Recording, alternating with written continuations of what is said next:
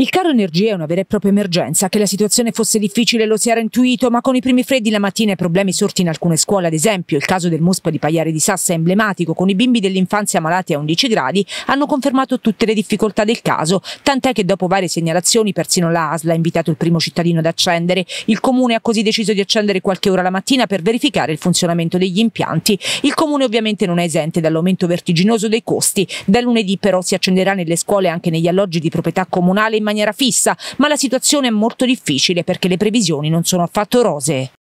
Noi abbiamo chiesto dei sacrifici perché così ci è stato anche trasmesso dal livello nazionale, però solo la città dell'Aquila dovuta passare da una previsione di 11 milioni di euro risalente al consuntivo 2020-21 ad una di circa 18 milioni di euro, quindi un incremento di 8 milioni di euro per le bollette a fronte di un risarcimento da parte dello Stato di un solo milione di euro. È evidente che è una situazione che non è tollerabile per un tempo troppo, troppo lungo, servono interventi strutturali che stiamo mettendo in campo, ma serve soprattutto un tetto al prezzo del, dell'energia Intanto prima e seconda commissione oggi si sono riuniti assieme per spiegare che esiste una possibilità per accedere a fondi per la formazione di comunità energetiche.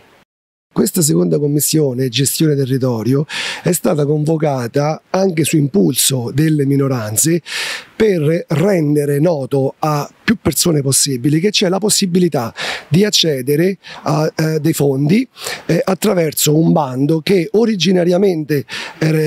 era, stata fissata la scadenza della presentazione della domanda al 31 di eh, ottobre, mentre eh, adesso è stata prorogata al 20 di novembre, c'è la possibilità appunto di accedere a questi fondi per la costituzione delle comunità energetiche rinnovabili.